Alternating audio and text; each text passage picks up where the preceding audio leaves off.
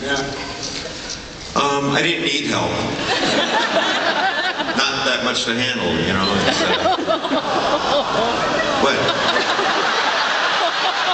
He didn't touch anything metal, that's all. Well, the situation didn't warrant assistance. It wasn't that windy. We landed in the Arctic, it was minus 56 degrees.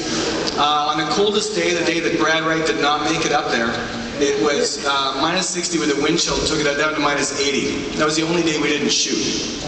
I made it up there. I just I just couldn't land. Details. We had, um, when, when you watch this movie, you have to understand something. There are three actors up there uh, who spent their entire days, 10 hours a day, on the ice, acting, where you would normally see, you know, body doubles and things like that walking around for them. So it's actually uh, Amanda and Ben in the big wide helicopter shot that flies over the Arctic Ocean. You're, you're looking at, at miles and miles of ice, and there's Amanda Tapping and Ben Browder walking along there. And then